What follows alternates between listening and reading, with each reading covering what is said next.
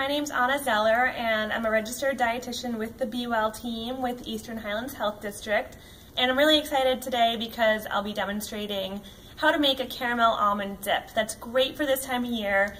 It's fall, it's getting a little cooler out, apples are fresh, so this is an awesome thing to try.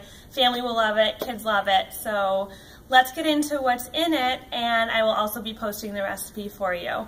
So this uh, recipe only uses um, six ingredients and the base of the recipe is dates. And everything in this recipe you can find at any major grocery store. Now you'll notice that um, the dates are soaking in a little bit of water in this um, small example here, but when you use your cup of dates, you'll want to soak it for about two to three hours to really soften them up. You're also going to use some fresh lemon juice, some vanilla, um, some almond butter, some coconut oil, which is a great source of healthy fat, a little bit of sea salt, and some almond milk.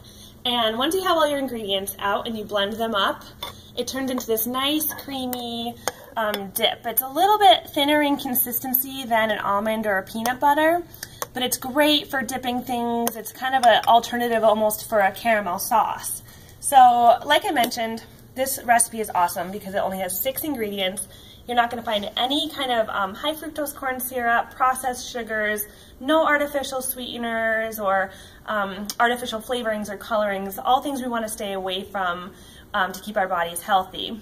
The other great thing is that we can just use a blender or a food processor. Don't have to cook it, um, super simple, and you can make a big batch of it and keep it in the fridge for a few days. And it's just so healthy and nutritious. The dates provide our body with a lot of um, fiber and we have healthy fat that keeps us feeling full for a while.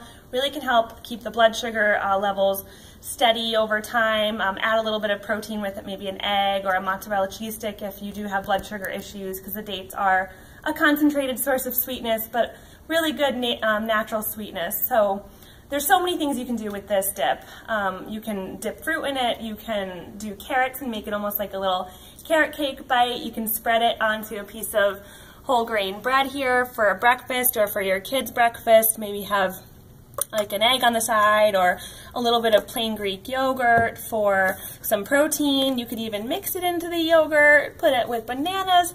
So there's so many options and it's definitely worth trying you know, any time of day, great for breakfast, snack, a little dessert. But I really hope you take advantage of this great recipe for fall with all the great produce we have available. And again, I'm gonna post this recipe for you, so let us know how you like it and be well.